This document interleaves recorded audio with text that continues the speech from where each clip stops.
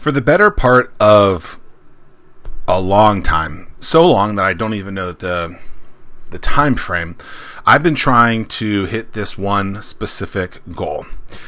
Now, it's not a goal that is a personal record, if you will. That's something that I did when I was like 16, 17, 18 years old, but it's something kind of in my adult life that I've been trying to accomplish. Now, many of you guys know that over the last few years, I have been getting back into my fitness career, my fitness life, and I've been trying to accomplish this goal for a one mile time. And I haven't been able to beat it. Over and over and over again, I tried different techniques and it just hasn't happened. Heck, I even ran the Ironman 70.3 and during that couldn't hit this specific time. And recently, this past weekend, I decided to change one simple thing up. And it's a pair of socks. You know, these are like a dollar fifty each maybe. I went to Wally World and I got this right here, this pair of socks, along with five or six others as well, because nothing like a Walmart grab bag of socks. But here's the funny thing for so long, I've been trying to accomplish this one very simple goal, and I haven't been able to.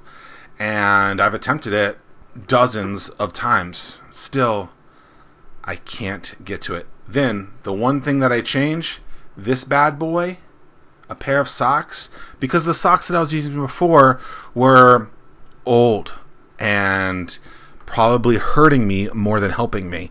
And it just wasn't getting the job done. I was I was at a stalemate. What made me think about this was as I was as I was running, I was like, "Oh wow, like this feels really good. I feel like I'm going to hit it." I had an 11 second PR because of these. I hit it. I hit the goal that I wanted.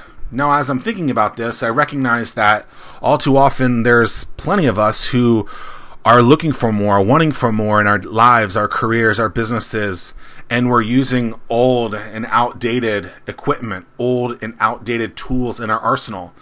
And what would happen if we just got something new? Could that change it? Could that make our goals actually achievable? Could that make our goals actually occur? So think to yourself, think over the next few days, what tools are you using that are actually hurting you rather than helping you? And what would happen if you just updated your arsenal with a new pair of socks? It's crazy to think that something that cost less than $2 in this case could actually get me the goal that I've been going after for years.